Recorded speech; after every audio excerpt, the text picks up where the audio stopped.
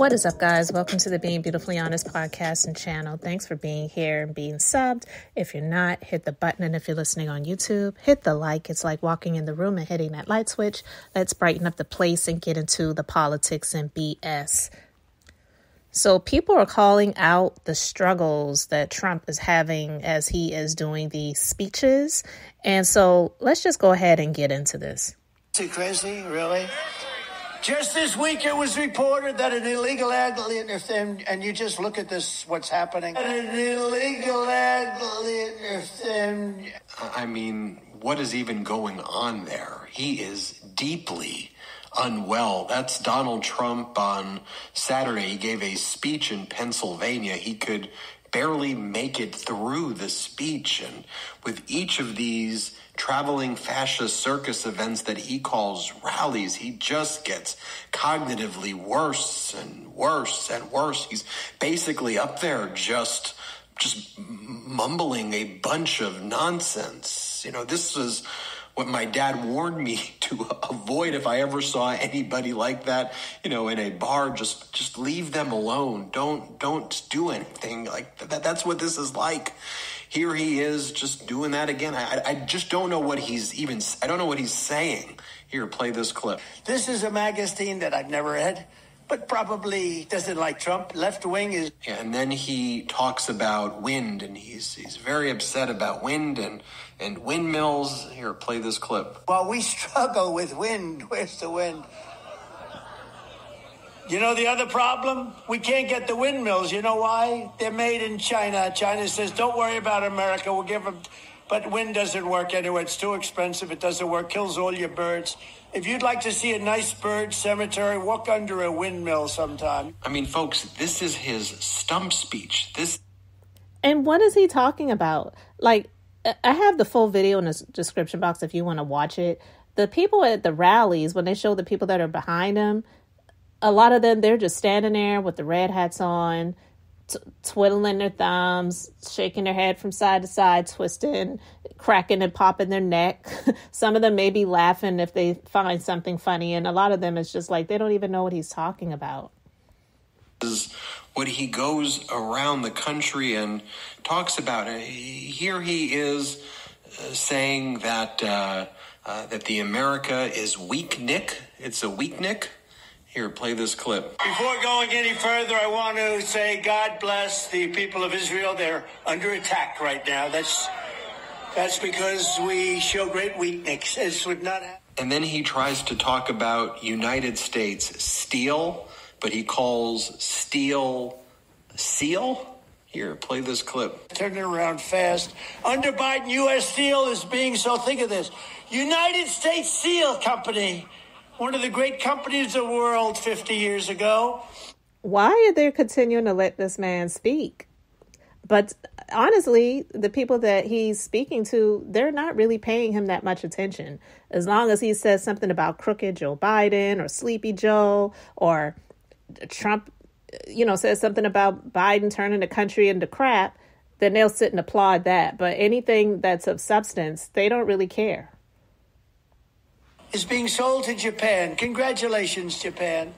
And then one of the things that he says, like, I'm trying to like be like, okay, what what are you gonna do? Like, what's your thing? Like, what you know, like none of this is normal, and it shouldn't be normal. You know, I'm trying to watch the speech and be like, okay, like, what is it that you're gonna be doing? Like, what's your policy? What are you saying to the people in the crowd that they uh, want to vote for you. Uh, this is just completely unhinged and just strange.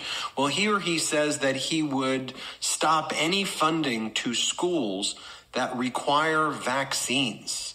So you're just going to bring like polio back? Here, play this clip. I will not give one penny to any school that has a vaccine mandate or a mask mandate. This is the Republican Party. This is what this is what they've become. I mean, please, you can't normalize this behavior. Here he is talking about how he wants to be able to pick the day when elections are held and override the Constitution. Play this clip. I wish we could move the election to Tuesday. Is there anything we can do? I want to move the election to Tuesday.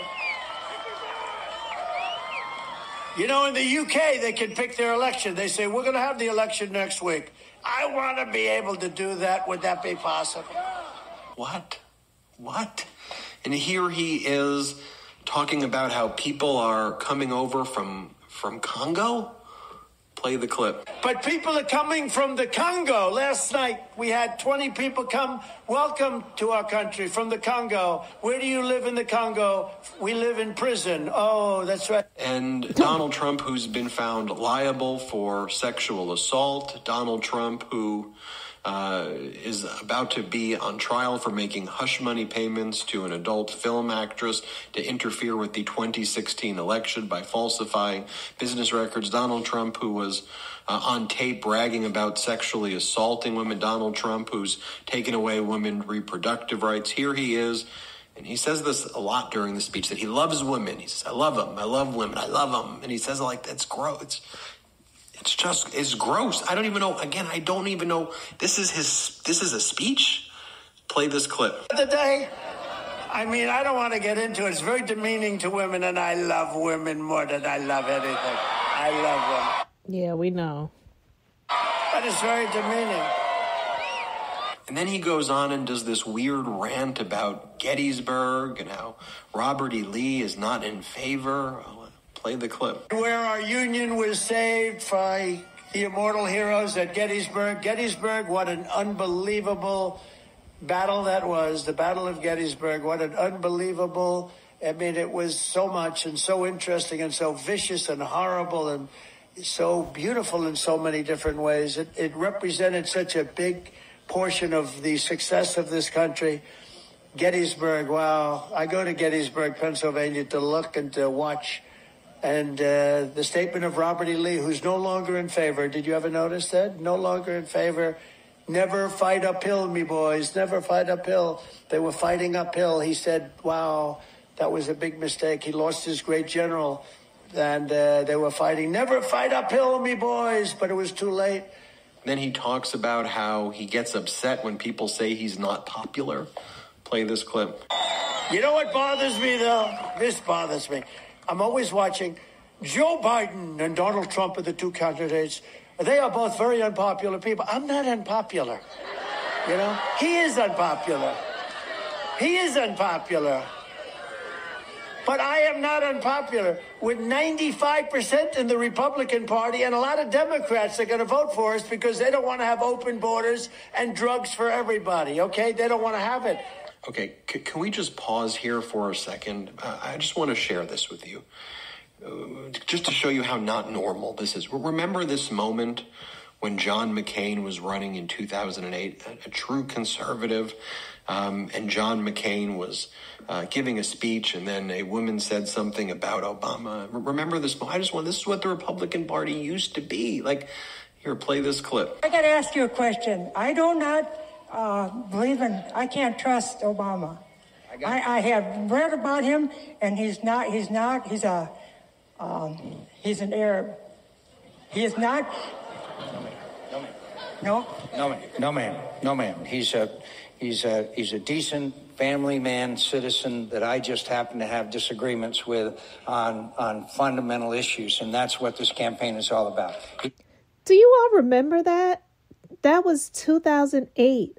Like, that's what politics used to be about. I mean, not saying that all of these politicians were upstanding individuals back then. That's not what I'm saying. But it used to be about the issues mainly.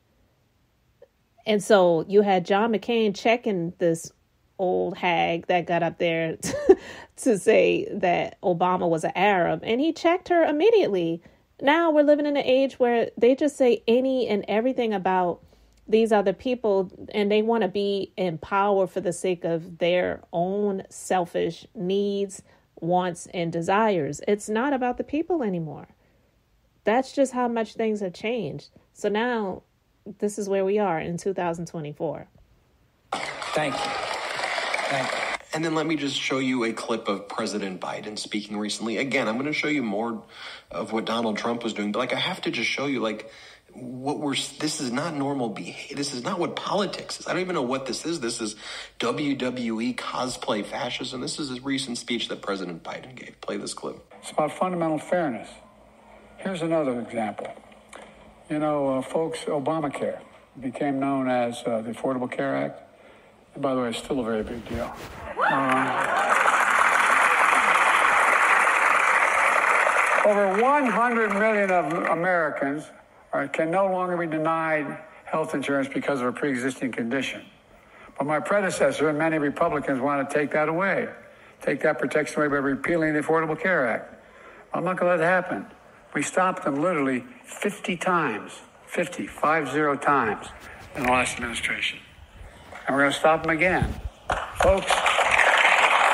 Okay, back to this debacle in Pennsylvania and Donald Trump's speech. Here, Donald Trump is saying that he's going to stop men from playing women's sports, and but he just mumbles these like he, he can't even say the sentence. Here, play this clip. Now, I don't use it. I mean, I think it's terrible, but I don't. I just say, from a common sense, is, isn't it ridiculous? I'm always, I'm always embarrassed when I say, and I will stop men from playing in women's. But who the hell would care? And then, of course, he's got to, you know, threaten the country and says if President Biden wins, there's not going to be a country anymore. The country's going to be destroyed. Let's play this clip. Why? But the day after the election, first of all, if he wins, our country is going to be destroyed. The day after the election, if he wins, he will stop drilling and he'll go back to wind, which doesn't work. He'll go back to all sorts of things that don't work. You know, and all of the things he's even saying about, oh, well, you know, there's no windmills being made here. They're all being made in China. I was in the largest windmill factory in Pueblo, Colorado. I interviewed President Biden there here in the United States of America, thanks to the Inflation Reduction Act and President Biden's Infrastructure Act. In terms of drilling, there's more drilling right now under the Biden administration than when Trump was in office. And President Biden's also focused on climate change, which Donald Trump wants to pretend doesn't even exist. Every metric is better under President Biden than under Donald Trump, but I digress. Here, Donald Trump then says that he thinks he's the most honest guy in the world, that there's no one more honest than him. Play this clip. I did nothing wrong from day one. I did nothing. Yet Russia, Russia, yet Ukraine, Ukraine, Ukraine, yet every hoax imaginable. With all of the things they did, with millions of pages of study, they found nothing, which makes me perhaps the most honest guy almost in the world, I think. They found nothing. And then he whines about uh, being gagged and saying that he's not allowed to speak and he's going to have to sit there and be gagged in New York. I mean, when you're talking right now, uh, you're going to have to follow the rules like any person who goes into a courtroom. You're not going to be allowed to act like a maniac. And the gag order just says you can't threaten the judge's daughter and you can't threaten the family members of the district attorney. Like, just don't do that. Even the mafia doesn't do that. You threaten the family members. That that's that. It's a fairly limited gag order in terms of what you're prevented from saying. Here, play this clip. The entire world will witness the commencement of the very first Biden trial. They're Biden trials. You know that, right? And I'm proud to do it for you. Have a good time watching. Have a good time watching. On Monday in New York City, I will be forced to sit fully gagged. I'm not allowed to talk. Could you believe it? They want to take away my constitutional right to talk. I have a crooked judge. See, that's all the rallies are about. It's just a bunch of, they call them sycophants, but it's just a bunch of fans that are there because of the celebrity of Trump. It's not about the policies or the issues. No, they're telling you to shut the F up because you're out here causing lunatics that follow you that would be so stupid enough to possibly lose their freedom by getting charged because they're out here threatening people's lives, like the judges and their families and staff. It's absolutely insane. But you heard the slurred speech, you heard the ridiculous speeching, speeches at the Uh, rallies or whatever, don't even know what he's talking about, nothing of substance whatsoever. But you can listen to the full video. I have the link in the description box and let me know what you think. Guys, thanks so much for being here, for liking and subscribing. I'm Beth, just being beautifully honest. So until next time, I wanted to keep it brief, beautiful, and now I'm going to say bye.